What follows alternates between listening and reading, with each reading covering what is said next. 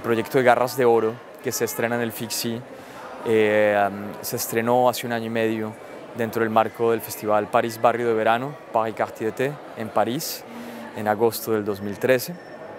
Es un proyecto de cine concierto que concebí con el cineasta Luis Nieto. El espectáculo gira en torno a la figura del tío Sam. Yo quise poner al tío Sam en un podio frente al público para que dirigiera las masas, que es una situación invertida a la situación real del concierto, en donde el director de orquesta está de espaldas al público y los músicos están frente al público.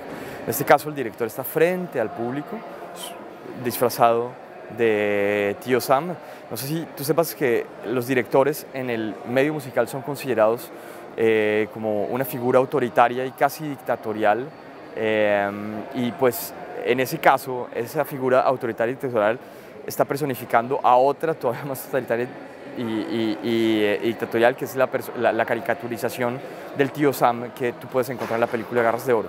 Pero además de eso, hay música en vivo, hay un ensamble de 13 músicos, eh, cinco solistas eh, del ensamble El Balcón, el ensamble francés El Balcón, más otros solistas independientes, músicos independientes colombianos, que hacen parte de la excelencia de la música en Colombia, en Europa.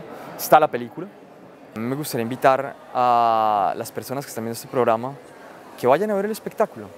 Eh, confrontarse a garras de oro es confrontarse a la esencia misma del colombiano, es confrontarse a nuestra historia ancestral, eh, es confrontarse a nuestro patrimonio.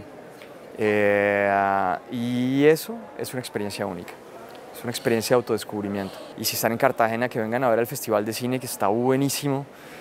Cartagena está, pero fantástica el plan, piscina, cine, Habana Club, Quiebra Canto, hotel, piscina, cine, es el mejor plan de estos días acá en Cartagena.